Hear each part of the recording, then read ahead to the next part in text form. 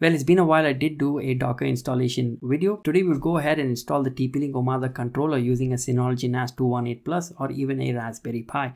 Now, if you're not well versed with the TP-Link Omada controller software, it's the same as a UniFi OS for their uh, networking equipment and TP-Link has its own enterprise level equipment that has its own uh, controller software. The thing is, to have the controller software you have to purchase uh, an additional hardware. So it's not something open source you can go and download and use an existing raspberry pi. Uh, like for example UniFi OS you can install it from within homebridge and get that whole controller application for your cloud key, your Dream Machine or a Dream Machine Pro. TP-Link doesn't have that. So in today's video, we'll go and have that installation completed using Docker. And just in case you followed my videos, the Ultimate HomeKit Hub or even the Ultimate DIY NAS, you can use these this same video to have uh, the TP-Link Omada controller installed on your network. Now, if you go officially to their uh, software downloads page, there is no official Docker container. So if you visit this developer, it's through this developer that we have the Omada controller made available using Docker. It's not officially supported by TP-Link, but you get the entire controller adapted for Docker. So there is no difference between this one or Windows or Linux. So what we're going to do first is the first part of the video, I'm going to show you how you can install the, the Omada controller using a Synology NAS. And the second part, I will show you how to uh, do it using a Raspberry Pi 4. Now let's log in into the Synology NAS. What we're going to do first is go ahead and download the image. So let's open up Docker. We go to registry and we look up for Home Omada. Now this is the official version to download. So we can go ahead and download it and uh, always use the latest tag. Now I've already gone and downloaded it. So it will show as it's already completed. Meanwhile, let's go up to file station and you're going to create a couple of folders for this installation. So within the Docker folder or where your root Docker folder is, go ahead and create a folder called Omada. And within Omada folder, we'll create three folders called work, data, and logs. Now we'll go ahead and open up the image that we downloaded, give it a name, click on advanced settings, enable auto restart just in case your NAS restarts. Volumes, you're going to go and add those three folders.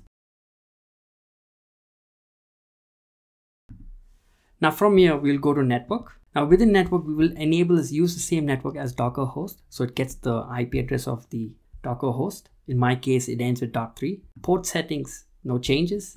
Links, nothing. So environment, we're going to add in all of those uh, web ports to access the Omada controller. Now we scroll all the way down here and go to the host section and we just have to add in all of these environmental values.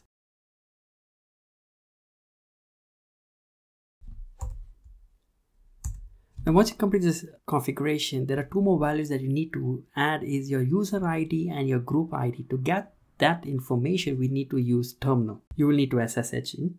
This is what happens when you have too many passwords in your head. Okay, all we have to do is type in ID, the dollar sign, and type the word user. So this is the user ID and password. So we need to add in these two values.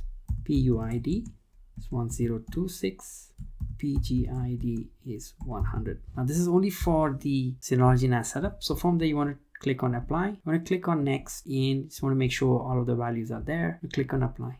Now the first time you start up this container, it takes about a minute to load everything. So please be patient. So to check the status, you want to double click, go to containers. You want to double click on the Omada controller and you want to go to log. Just try opening up a new tab and we're going to type in the I address of the Synology NAS ends with .3 and the port will be 8088. It takes around roughly about a minute and a half, so that's the patience you need.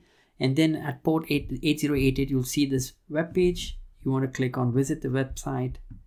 So that's the uh, Omada controller. You can click on let's get started. You can go ahead with the configuration. So this is using your existing Synology NAS now, what if you have a Raspberry Pi 4 and you watch these two videos where I have created an ultimate HomeKit smart home hub using Docker and Portainer, everything's installed through containers, or you've watched this video with the DIY NAS where I've even used Docker and Portainer plus OMV to have that ultimate uh, network attached storage. So you can use a script to install that. But if you already have Docker and Portainer installed, we, we will skip the script process and go ahead and access our Raspberry Pi 4 and have the controller installed.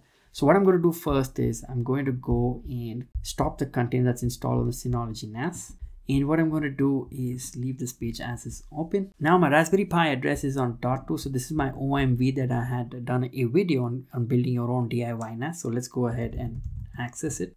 And then within over here I did go ahead and install Portainer that we have up and running. That's right here. So right now if you look at the containers we have all of this installed in our uh, DIY NAS so what I'm going to do is I'm going to access the Raspberry Pi using terminal. Okay so what we're going to do is going to access my script that I have over here. So if you don't have a Docker or Portainer installed on your Raspberry Pi 4 I'll leave the link in the description on how to use the script to have all this installed automatically. But if you have followed my guide for my last two videos you already have Docker and Portainer already installed. So we're just going to copy paste these commands and have the controller installed. So we're going to create three folders, the data, work and logs, and then copy paste the entire docker run command. So now depending on your internet connection, this docker install will take around about five minutes or less. So it's a 500 plus MB file. So copy this entire section, just going to paste it. And all you have to do is hit enter. And from here, what we're going to do is go ahead and access Portainer. Let's refresh the page. And we see the Omada controller is starting up. So you want to give it at least a minute and a half for it to start. So thanks to the power of editing, I spliced all that out and now the container is working to access it. We're going to go to 192. The IP address to the Raspberry Pi 4 ends with 2 and we're going to use port 8088 enter in we have the controller already loaded. So with this um, we've installed the Omada controller using a Synology NAS 218 plus that we have over here and using my script depending if you have Docker or Portainer not installed. And if you have it we can use these commands to install the same using a Raspberry Pi 4 so this makes it much more affordable to use your existing hardware to um, control, configure, and manage your smart home network. So let me know if there's any other containers that you use for your smart home and there's no available tutorial so I can take a look at it. And you know, it's a challenge to um, have it configured and bring it to y'all. And uh, I'll see you in the next video. Cheers and happy automation.